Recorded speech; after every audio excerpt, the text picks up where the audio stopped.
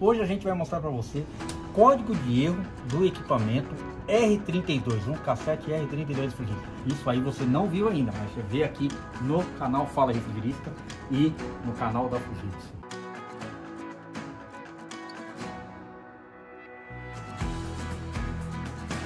Fala refrigerista! Seja muito bem-vindo mais um vídeo diretamente do centro de treinamento da Fujitsu. Andrão, explica pra gente um pouquinho como que a gente encontra os códigos de erro nos equipamentos da R32. Boa, Maresia. Os códigos de erro dos nossos produtos, eles podem estar no próprio equipamento, como é normal, então ele tem aqui na unidade evaporadora, os LEDs vão ficar piscando, você pode aproximar aqui, ó, dar um zoom, então você vê os LEDs do equipamento apresentando o código de erro. Isso é algo muito comum que já existe. É, nessa nossa linha K7 teto, você tem um botão Service Check, onde que você vai apertar e ele vai identificar o código de erro do equipamento. Como que ele vai funcionar? Então, através de uma caneta, então eu vou apertar esse botão Service Check, apertei ele, eu vou direcionando os códigos de erro. Ele irá bipar o código de erro, mostrando qual é o código de erro que está apresentando no equipamento. Um, ah. um, um bip curto as, significa sem anomalia. Isso. Um bip mais longo vai apresentar a anomalia. Vai apresentar a anomalia do problema do equipamento. Então você vai passando por código, código de erro, até apresentar o código de erro do equipamento.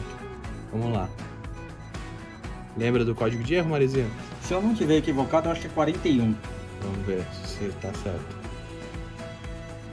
Bom, exatamente, 41. Vocês viram que ele apresenta um bip mais prolongado, identificando o código de erro através do controle também.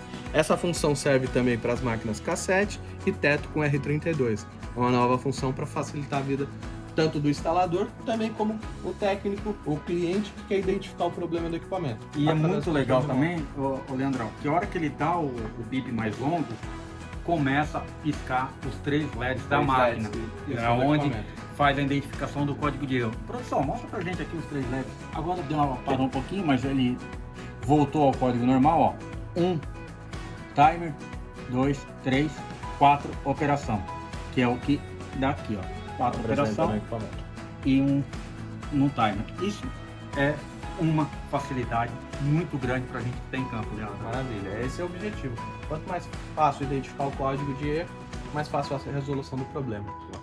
Uma das Vai. vantagens dos produtos novos com R32. Aí é só ir na apostila, verificar o código de erro ou o aplicativo.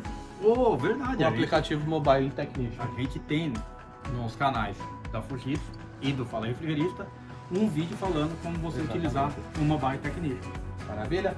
Leandrão, obrigado Valeu. mais uma vez.